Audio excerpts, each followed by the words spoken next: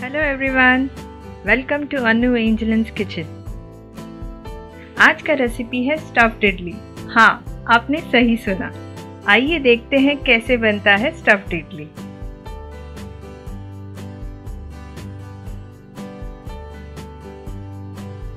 पहले हम इडली बैटर बना लेंगे।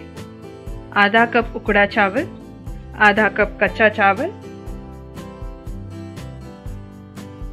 अब पानी मिला लेंगे।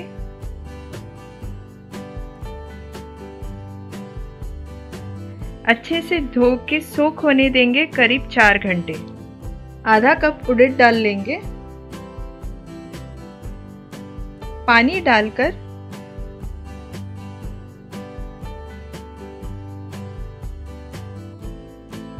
इसे भी हम चार घंटे सोख होने देंगे।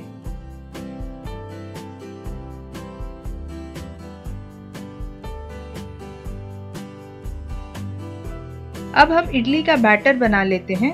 ब्लेंडर जार लेंगे, भिगोया हुआ उड़द डाल डालेंगे और अच्छे से पीस लेंगे।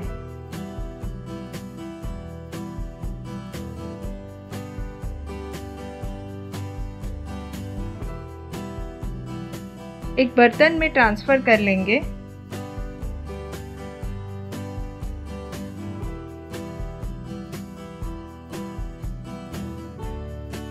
अब हम भिगोए हुए चावल को ब्लेंडर जार में डालेंगे। थोड़ा सा पानी मिलाकर अच्छे से पीस लेंगे।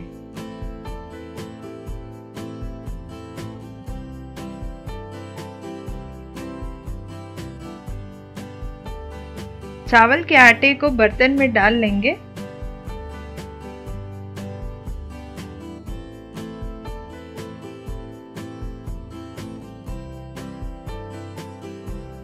नमक डालेंगे और अच्छे से मिला लेंगे। करीब आठ घंटे तक फर्मेंट होने देंगे बैटर को।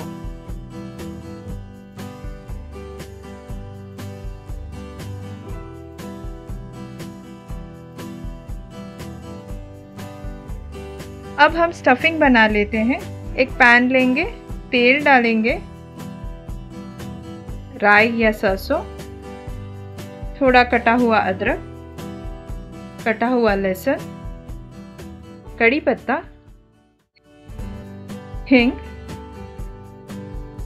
बारीक कटा कोतमीर हरे मिर्च का पेस्ट, मिला लेंगे सबको।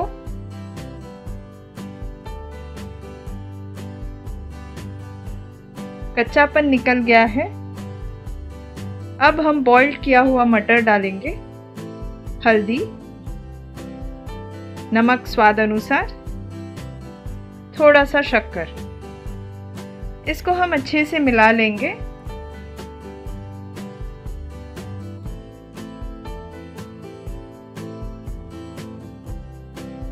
अब डालेंगे उबाल कर मैश किया हुआ आलू।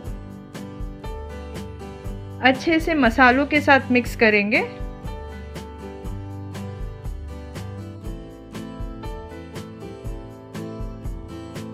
आलू अच्छे से मसालों के साथ मिक्स हो गया है। हमारा स्टफिंग तैयार हो गया है। स्टीमर रखेंगे लो फ्लेम पर। इडली प्लेट रखेंगे। आधा बड़ी चम्मच बैटर डालेंगे।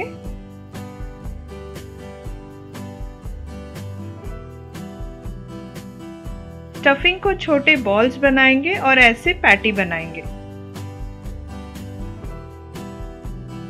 इसे रखेंगे बैटर में। और थोड़ा बैटर डालकर कवर कर देंगे। बाकी सब भी ऐसे करें।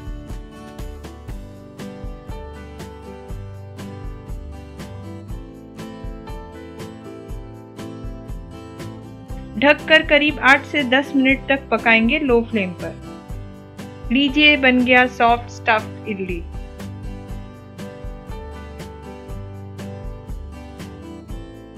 ज़रूर ट्राई कीजिए और कमेंट में अपना अनुभव बताएँ। आपको ये वीडियो पसंद आया हो तो ज़रूर करें लाइक दोस्तों को करें शेयर और सब्सक्राइब करना ना भूलें। फिर मिलेंगे एक नई रेसिपी के साथ। तब तक के लिए स्वस्थ रहे टेक केयर बाय बाय